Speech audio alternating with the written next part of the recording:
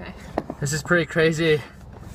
and kind of hilarious, but We're, we're driving to the Golden Triangle from Ch- Chiang Rai right now, and it's freaking rain we heard while we were inside a mall, and now there's a flood outside. We're driving through. I don't know how many inches of water this is. like this much.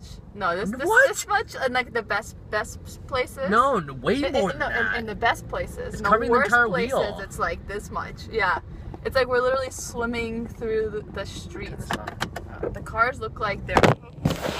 The cars look like they're uh, swimming. Uh, Ray was getting really worried for a while. I, I couldn't. The brakes weren't working well. The acceleration was barely working. There's like hundreds of cops out here, Yeah, and not redirecting traffic. They just like, all right, keep going ahead, keep going ahead. But like, everyone's just crazy. driving forward in all this water. Probably like damaging their car.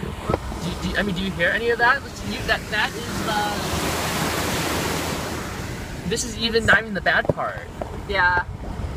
it's oh my god, it's crazy. And there are all these like volunteers here. They're uh they're all barefoot. It's like cops. Hold it. Yeah, hold it.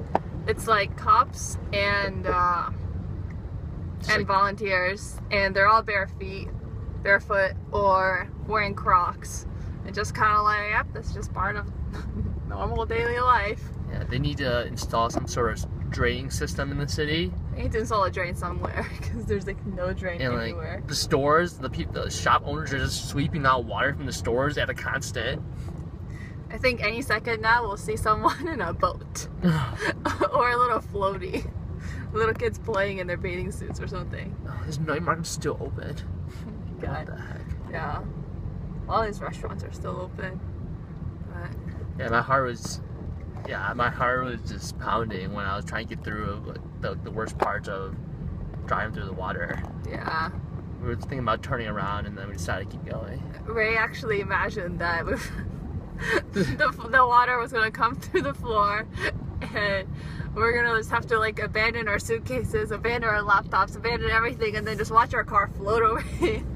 Yeah, if we would kept going downhill and not stopping, like, oh, we're okay, we're okay, we're okay, to the point where the car stalls and starts, we could barely open the door, we're gonna have to jump out the window and just swim away and just tread the water as the car floats away from us forever. yeah, but right now it's just back and forth between like swimming in the water and regular driving. So Uh, it's, it was pretty exciting though, to be honest. We've never seen something like this before. yeah, It's pretty cool. both our hearts are racing. Yeah.